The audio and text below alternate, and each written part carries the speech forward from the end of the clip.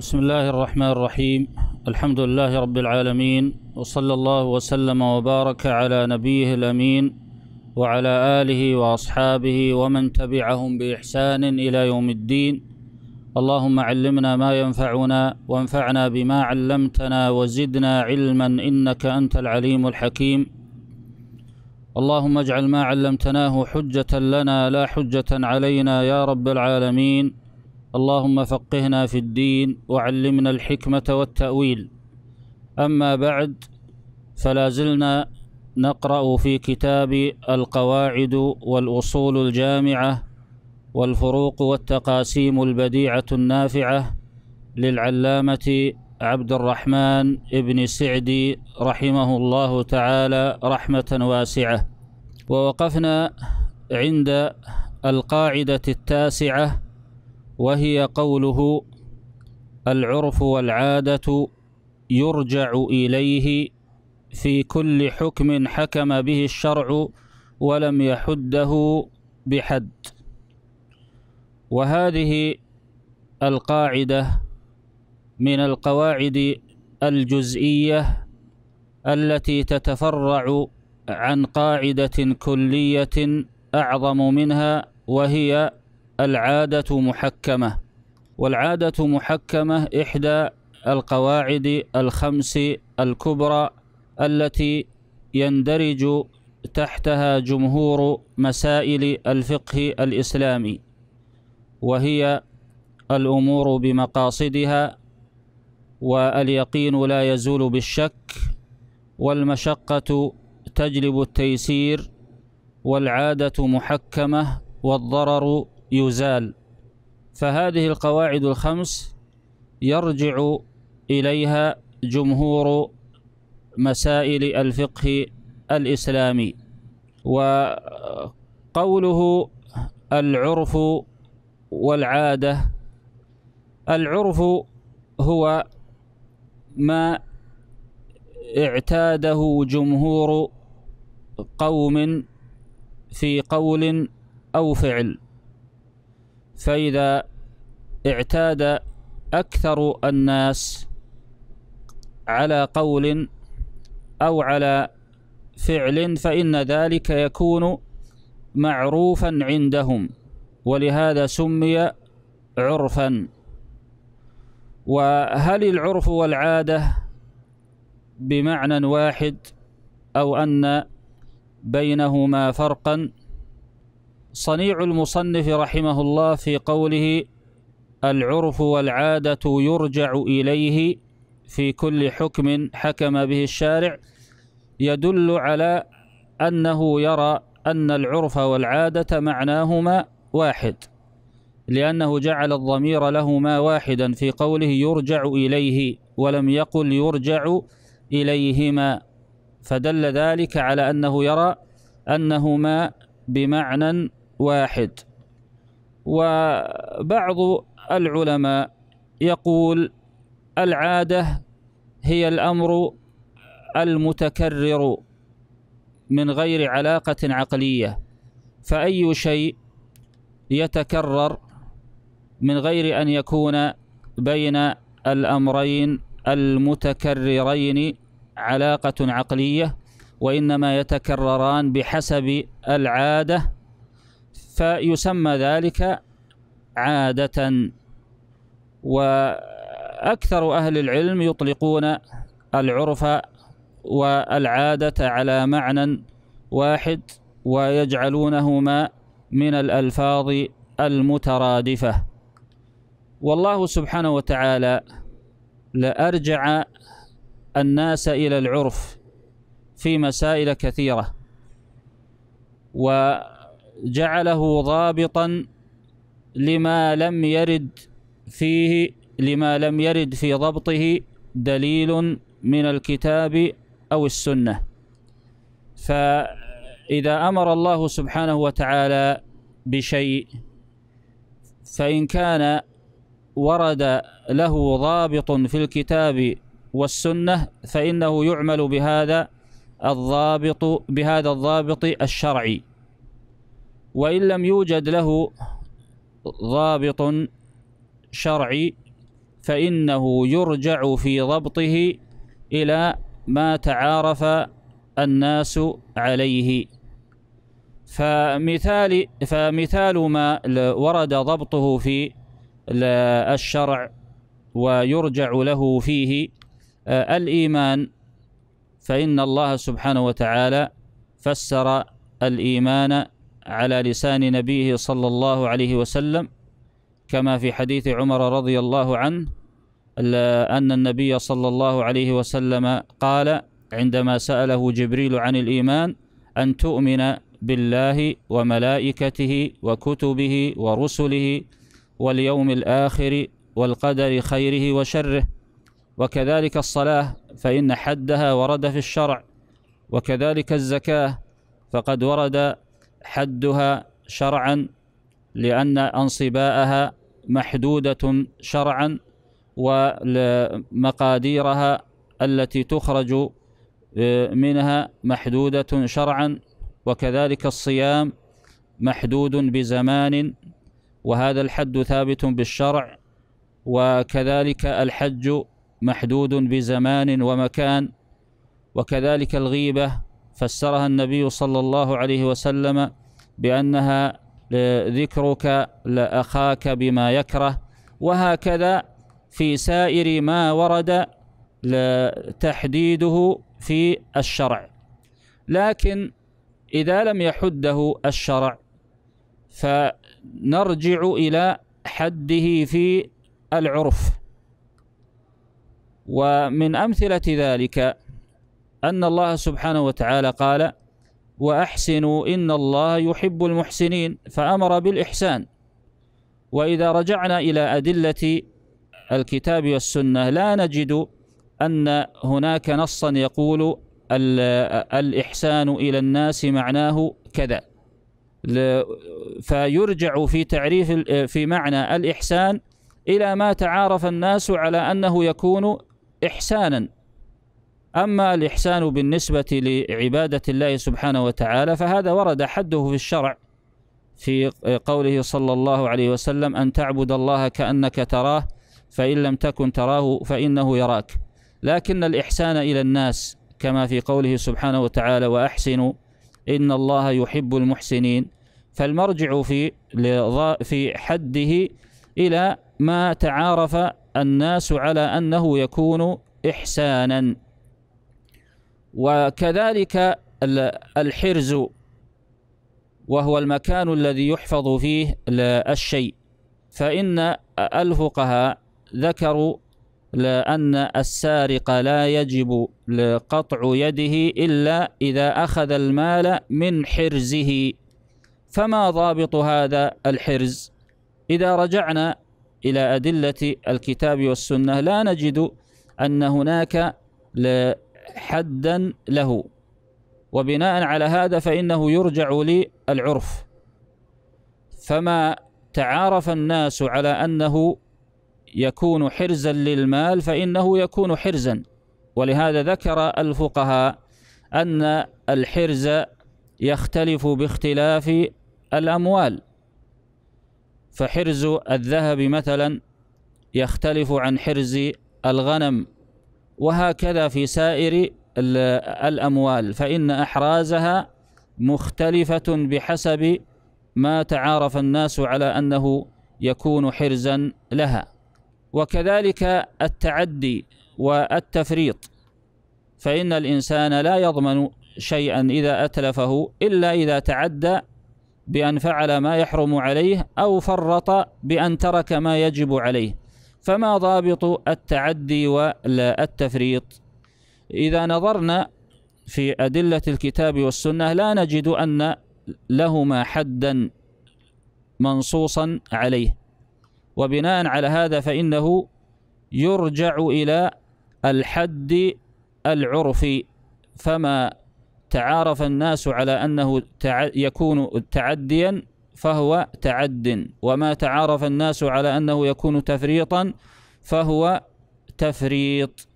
وهكذا في سائر الأشياء التي لم يرد في حدها أو تفسيرها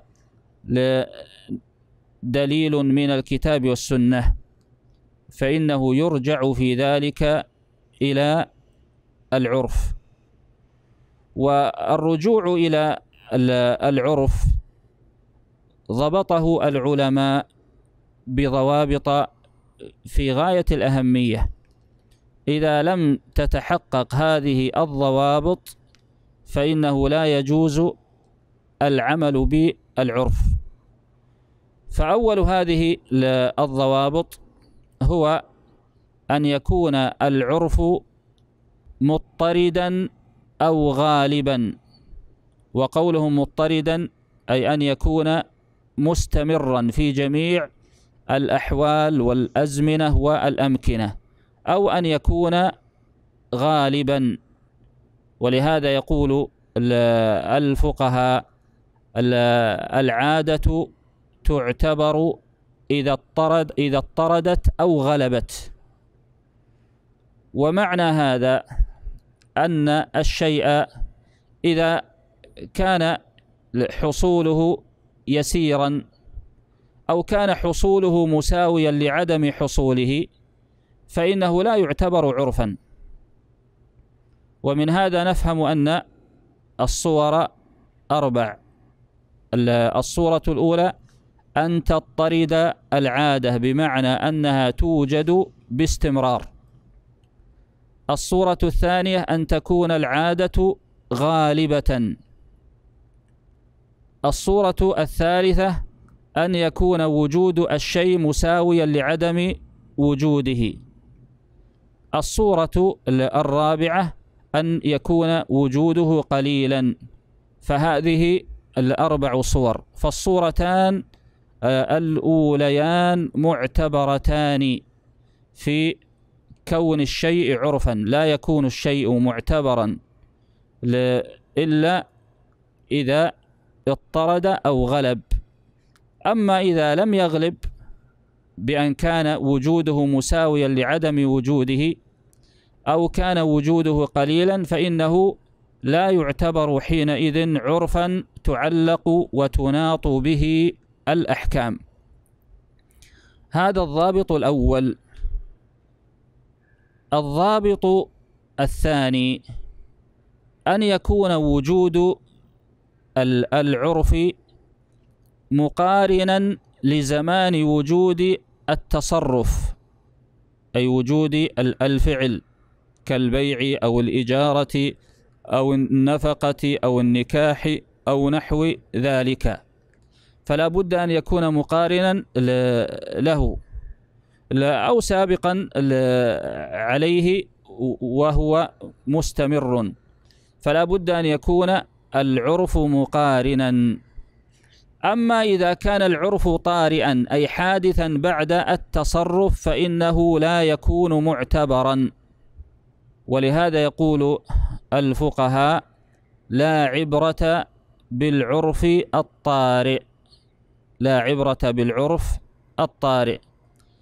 ومثال ذلك لو أن الناس كانوا في بلد من البلدان يتعارفون على أن المهر يدفع كله في وقت العقد عند العقد على المرأة. ثم بعد ذلك تعارف الناس على أن في هذا البلد على أن المهر يدفع بعضه عند العقد ويدفع بعضه عند الفراق عند الطلاق. فعقد إنسان وعرف الناس على أن المهر يدفع كله عند العقد. لكنه فالمعتبر حينئذ هو العرف الذي عند العقد. أما العرف الطارئ بعد العقد فإنه لا يكون معتبرا لأنه لا عبرة بالعرف الطارئ بعد التصرف. هذا هو الضابط الثاني. الضابط الثالث ألا يخالف العرف دليلا شرعيا. فإن خالف دليلا شرعيا فإنه لا يعتبر. ومن أمثلة ذلك لو أن الناس في بلد من البلدان أو في زمان من الأزمنة آه، تعارفوا على إباحة الربا أو تعارفوا في هذا البلد على عدم إنكار العلاقات الجنسية المحرمة أو تعارفوا على تبرج النساء. فإن هذا العرف ليس معتبرا لأنه مخالف للأدلة الشرعية.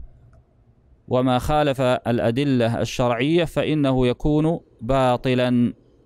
الضابط الرابع للعرف ألا يصرح المتعاقدان بخلاف العرف. فإن صرح بخلافه فإن العبرة بالتصريح لا بالعرف. ولهذا يقول الفقهاء لا عبرة بالدلالة في مقابل التصريح. لأن وذلك لأن دلالة التصريح أقوى. فهذه أربعة ضوابط مهمة جدا للعمل بالعرف وإناطة الأحكام به. وقاعدة اعتبار العرف والعمل به في الأحكام وفي تفسير الأشياء مهمة جدا للمفتي وللقاضي. فإذا كان إنسان يفتي في بلد فلا بد أن يعرف عرف هذا البلد في الأشياء. وكذلك إذا كان قاضيا بينهم لا بد أن يعرف عرف أهل هذا البلد لأنه ربما يحكم بخلاف ما يدل عليه العرف والشريعة علقت كثيرا من الأحكام بما يتعارف الناس عليه. فلا يجوز للمفتي في بلد أو القاضي أن يفتي أو يقضي إلا إذا كان عارفا بعرف أهل البلد والعلماء يقسمون العرف إلى قسمين.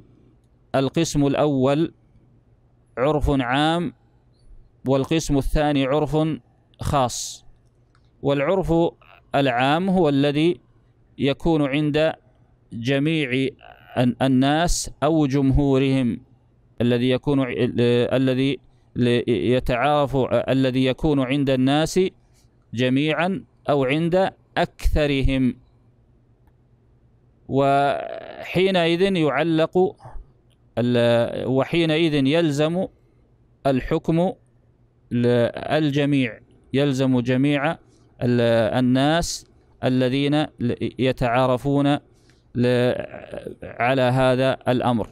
أما العرف الخاص فهو الذي يختص بطائفة معينة كأهل صنعة معينة أو أهل بلد معين ويدخل في هذا اصطلاحات أهل الفنون كاصطلاح الفقهاء على معنى معين أو اصطلاح الأصوليين على معنى معين أو اصطلاح النحاة على معنى آه، معين. فهذا يسمى عرفا خاصا. ومنه عرف أهل بلد معين. ويلزم العرف حينئذ أهل ذلك البلد دون غيرهم من البلدان الأخرى. واعتبار العرف دل عليه أدلة كثيرة من الكتاب والسنة. من ذلك قوله سبحانه وتعالى خذ العفو وأمر بالعرف فأمر الله سبحانه وتعالى بالأمر بالعرف وهو المعروف المعروف شرعا وعقلا. وكذلك قوله سبحانه وتعالى وعاشروهن بالمعروف فعلق المعاشرة بالمعروف فدل ذلك على أنه معتبر. وكذلك ما جاء في الصحيحين من قوله صلى الله عليه وسلم لهند آه، بنت عتبة رضي الله عنها آه، خذي من ماله ما يكفيك وولدك بالمعروف فعلق أخذ المال بالعرف فدل ذلك على أنه معتبر والحاصل أن هذه القاعدة من القواعد المهمة. لكن العرف كما قلنا لا يرجع في تفسيره إلا إذا لم يوجد لا يرجع في تفسير العرف للشيء إلا إذا لم يوجد له تفسير في الشرع. ولهذا قال المصنف رحمه الله العرف والعادة يرجع إليه في كل حكم حكم به الشارع ولم يحده بحد. ففهمنا من هذا أن الشارع إذا حده بحد فإنه لا يرجع إلى العرف في معرفة هذا الحد وإنما يرجع إلى الشرع. فالعرف يرجع إليه في تفسير الأشياء إذا لم يرد لها تفسير في الشرع. ثم لما انتهى المصنف رحمه الله من هذه القاعدة انتقل للكلام على قاعدة أخرى وهي القاعدة العاشرة فقال القاعدة العاشرة البينة على المدعي واليمين على من أنكر في جميع الحقوق والدعاوى ونحوها. وهذه القاعدة متعلقة باعتبار البينات عند حصول النزاع. والبينة ما المراد بها؟ البينة هي كل ما أبان الحق. وهذا التعريف هذا التعريف للبينة هو الذي اختاره جماعة من المحققين كابن تيمية وابن القيم وغيرهما من أهل العلم. ويدخل في ذلك الشهادة وغيرها. فكل ذلك يسمى بينة. ولا تنحصر البينة في الشهادة بل الشهادة نوع من أنواع البينات. والمدعي في قوله البينة على المدعي المدعي يقول العلماء هو الذي إذا سكت لم يطلب. وأما هو الذي إذا سكت ترك. وأما المدعى عليه فهو الذي إذا سكت لم يترك. فيقولون المدعي هو من إذا سكت ترك. يعني لم يطلب ولم يبحث عنه. وأما المدعى عليه فهو الذي إذا سكت لم يترك بمعنى أنه يطلب ويبحث آه، عنه ويطلب منه إما الإقرار أو الإنكار. وهذه القاعدة معناها أن البينة واجبة على المدعي فإذا ادعى إنسان حقا على آخر فإنه يجب عليه أن يأتي بالبينة على ذلك. وأما المدعى عليه فإن أقر بالدعوى فبها ونعمت. وإن لم يقر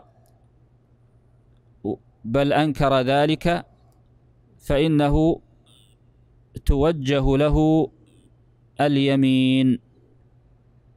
فإن حلف برئ ظاهرا وإن نكل عن اليمين أي امتنع عنها فإنه يحكم عليه بالحق. وهذه القاعدة يرجع لها في جميع الدعاوى فالدعاوى محتاج محتاجة لهذا الأصل. ويدل على هذا قوله صلى الله عليه وسلم كما في البيه كما عند البيهقي في السنن البينة على المدعي واليمين على المنكر. فهذا صريح في أن المدعي تلزمه البينة على دعواه وأن, وأن المنكر يلزمه اليمين وذلك بأن يحلف على خلاف ما ادعي به عليه. وهذا الحديث له أصل في الصحيحين. وهو أن النبي صلى الله عليه وسلم قال لو يعطى الناس بدعواهم لادعى رجال آه، أموال آه، رجال ودماءهم ولكن البينة على المدعي ولكن اليمين على المدعى عليه ولكن اليمين على المدعى عليه. ويتفرع عن هذه القاعدة لفروع كثيرة تتعلق بالدعاوى والحقوق. منها لو أن شخصا ادعى أن هذه الدار له فإنه حينئذ يطالب بالبينة على ذلك. فإن أقام بينة عمل بها وإن لم يقم بينة فإن القاضي يوجه اليمين على المدعى عليه إذا لم يقر بالدعوة. فإن حلف فإنه لا يثبت لا يثبت للمدعي شيء. وذلك لأن المدعى عليه أنكر وحلف على ذلك فيبرأ في الظاهر. أما في الباطن فحسابه على الله سبحانه وتعالى. ومثل ذلك لو ادعى إنسان ميراثا أو ادعى وصية أو ادعى وقفا أو ادعى عقد أي عقد من العقود. فهذه القاعدة كما قلنا قاعدة مهمة يحتاج إليها في سائر الدعاوي الدعاوى لعموم الحديث السابق. واستثنى جمهور أهل العلم من هذه القاعدة القسامة. والقسامة هي أيمان مكررة في دعوى قتل معصوم. فإذا قتل معصوم ووجد لوث يعني وجد شبهة ظاهرة فإن المدعين يحلفون خمسين يمينا وذلك لما ثبت في الصحيحين من قصة آه، حويصة ومحيصة لابني عبد الله. فيوجه خمسون يمينا للمدعين فيحلفون. فهنا اليمين على المدعي. ولهذا قال أكثر العلماء إن القسامة خارجة عن سنن القياس لأن القياس أن تكون اليمين على المدعى عليه لكن القسامة اليمين فيها على المدعين. وهذا خلاف ما عليه القياس أي خلاف ما عليه القاعدة المستمرة في الشرع.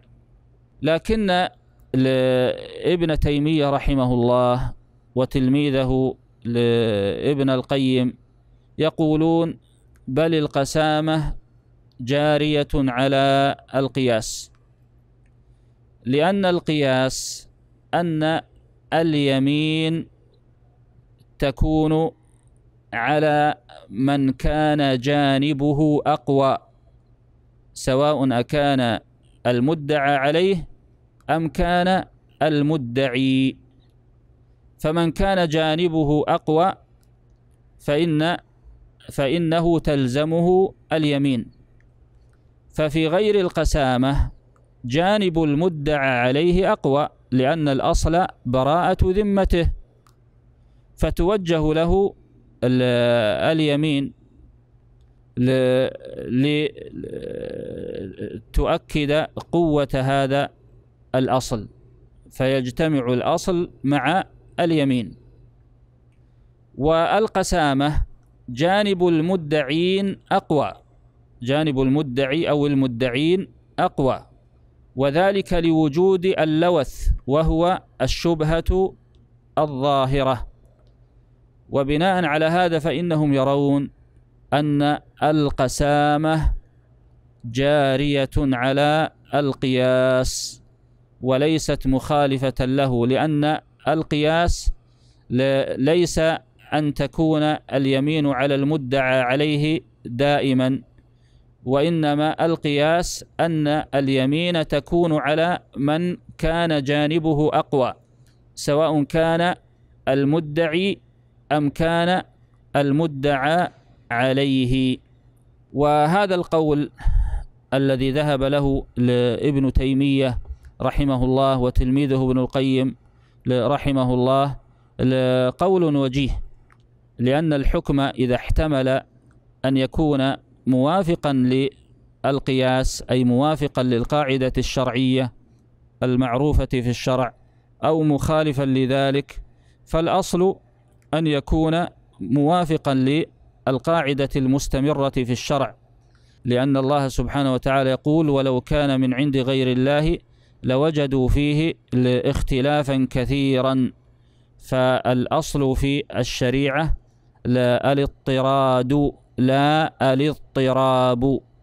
فالأصل في الشرع أن يكون مضطردا لا أن يكون مضطربا. وما استثني فإنما يستثنى بدليل ولا يلزم من استثنائه حصول الاختلاف والاضطراب في الشريعة بل هذا من محاسن الشريعة وجمالها وكمالها أنها تستثني بعض الأمور لأن هذا الاستثناء يترتب عليه لمصالح راجحة فلا يكون في هذا اختلاف في الشريعة ولله الحمد.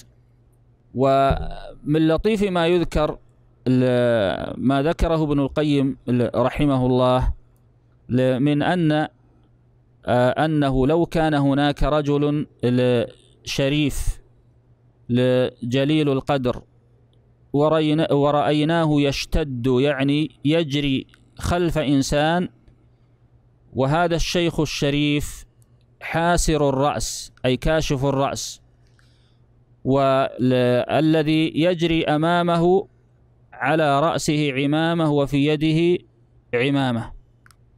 فإن الحاكم يحكم بأن العمامة التي في يد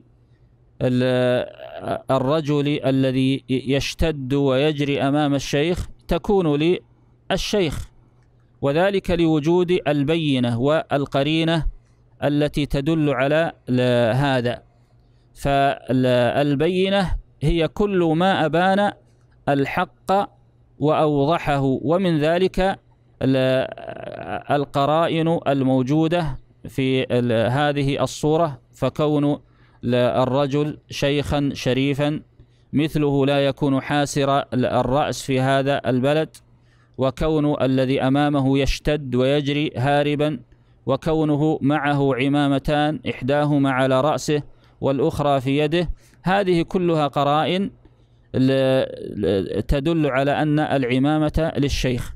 وحينئذ لا يطالب الشيخ بشاهد ولا حينئذ لا يطالب الشيخ بشاهد لأن لأن لديه بينة. ولما فرغ المصنف رحمه الله من هذه القاعدة عقد قاعدة أخرى وهي القاعدة الحادية عشرة. فقال القاعدة الحادية عشرة الأصل بقاء ما كان على ما كان واليقين لا يزول بالشك. وهذه القاعدة سوف نتكلم عليها إن شاء الله تعالى في اللقاء القادم. أسأل الله عز وجل أن يوفق الجميع للعلم النافع والعمل الصالح. والله أعلم وصلى الله وسلم على نبينا محمد وعلى آله وأصحابه أجمعين.